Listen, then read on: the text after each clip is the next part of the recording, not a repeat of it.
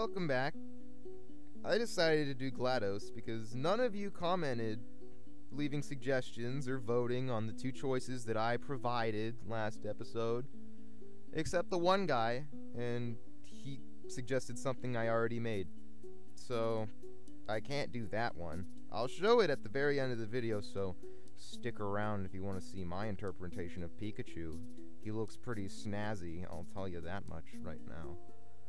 But instead I decided to do GLaDOS, partially because I feel like not a lot of people watched the last episode for a couple reasons. One, it's because I said in that episode, like, nobody made pixel art for Courage, and that's because Courage is kind of obscure, especially because he's a TV character. You wouldn't think to look that up. But I feel like because GLaDOS is from a video game, and people that like video games tend to like pixel art, so there's probably more people that like both pixel art and GLaDOS, and they'd want to see like the two come together.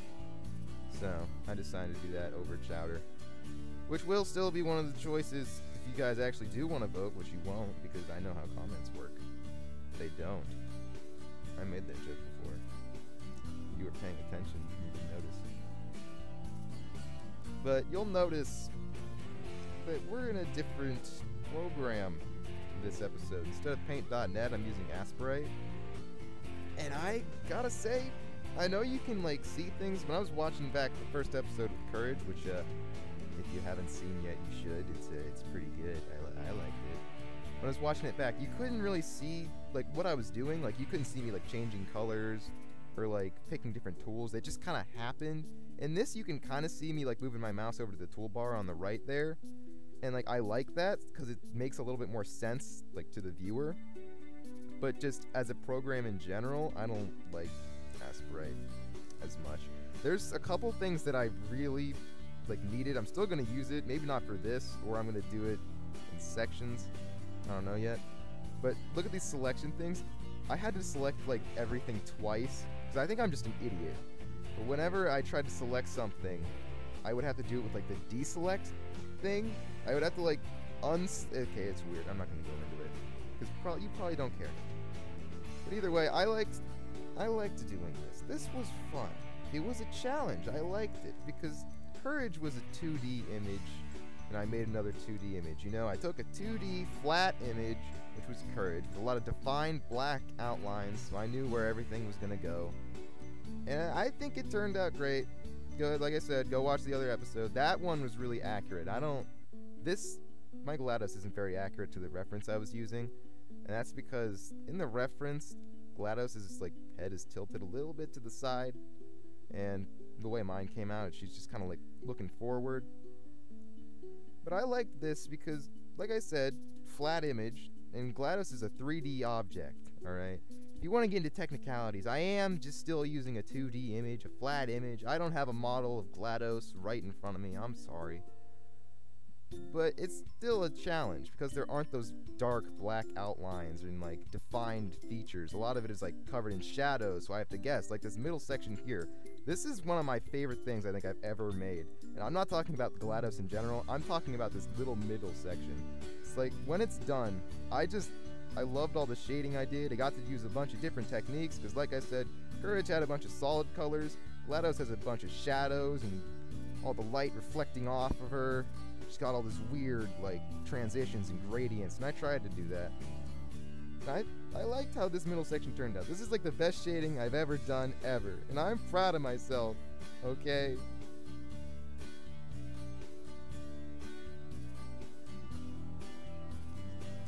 Doing more of the midsection here.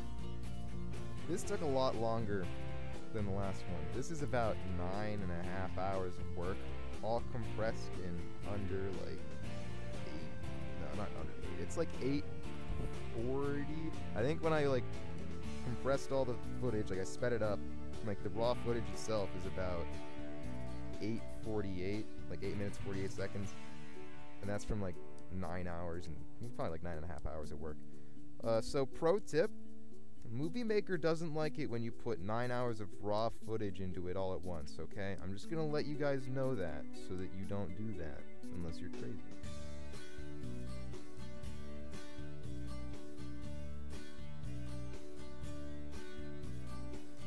I don't think I mentioned. I think at the very beginning of the video, I don't think I mentioned it, but if you're like really paying attention, you could see like a little bit of flashes of like Space Core hidden pixel art, hidden Space Core pixel art. I did that a long time ago, and I at the beginning I tried to use like the same palette from that, and it, it didn't really work. Oh, the curves. This curves. This bottom curves. I was really excited to get to this part. Like when I was doing like the boring stuff, like the midsection, but I thought it was boring when I was doing it. But then when it was done, I was like, wow, that's pretty. But these curves, they took me like at least an hour and a half, probably. Because like I tried to make them look clean and stuff too. Because I don't, I like, I pride myself. I think my curves can be pretty clean, right? And just you can see how long this took me. It's like the other stuff I did in like a flash. Did like a snap. Wait, can I snap into my mic? I wonder if that picked up. It probably didn't. But those curves, man. It just ugh. Now here's here's the one thing I liked about Aseprite. Uh, you can see me use it for like half a second there.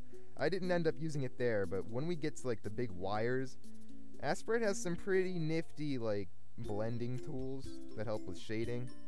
You'll see, because I, I had to do some like light reflecting on some of the wires. And this dithering right here that I was doing at the base, like the bottom area, that works for down there, but there's no good way to use that for like streaks of light. And you'll see, it looks really good when I actually use the tool. So I'm thinking if I do use Aseprite again, I'm probably going to do it in a way where I do the base stuff in paint.net and then I'll switch over to Aseprite for like shading and stuff. I don't know. Depends.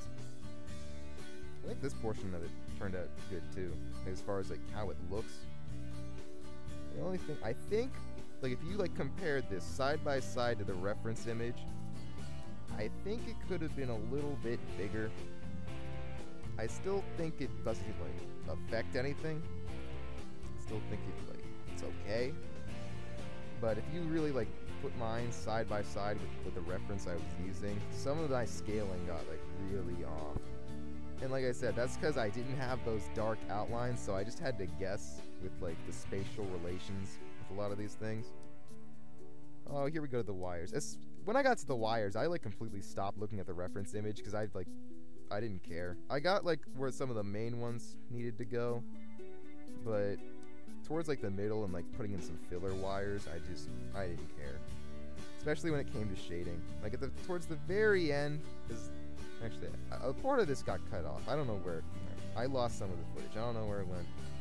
Some of the shading, like in that center area you just saw, like near where the white panels are. I kind of got lazy with them because I put like some shading on like the front ones, but because the ones, the other ones like in the background are supposed to be dark, because like I said, shadows I didn't really try as hard on those. Oh, here we go. See, look. You'll see it when it's really done. But I like for half like half a second. So it's me trying to do the light. It doesn't really work. And then you, once you see it, you can see it in the preview down there. Look at that light. Look at that pretty light. Isn't that nice? That's towards the end. You missed a little bit. I think I lost. I accidentally deleted some of the footage. You didn't miss a whole lot. The only thing you really missed was I added like maybe one or two more wires. But other than that, that was that was it. That was nine and a half hours well spent, honestly. I think it turned out pretty good. Especially just like look at the midsection. Isn't it great? Look how pretty it is. It's great. I love it. And you should love it too. And there you go. The bottom left hand corner has Pikachu. I made that. Look how snazzy he is. Are you jealous of that Pikachu? I bet you are. I bet you are. Anyway, as far as voting and suggestions, because people like, like, nah, it wasn't like a huge, like, didn't blow up or anything, but it did get quite a few likes. So I'm like, okay, I'll do more. So Chowder's still going to be another choice, and to hook onto that TF2 crowd that we never pander to. If you guys actually vote, I'll do a TF2 character, any TF2. But you have to actually vote, or else I'm gonna do Chowder. So there you go. Leave suggestions down in the comments if you want. I actually fixed the outro, and it looks really snazzy now. Goodbye.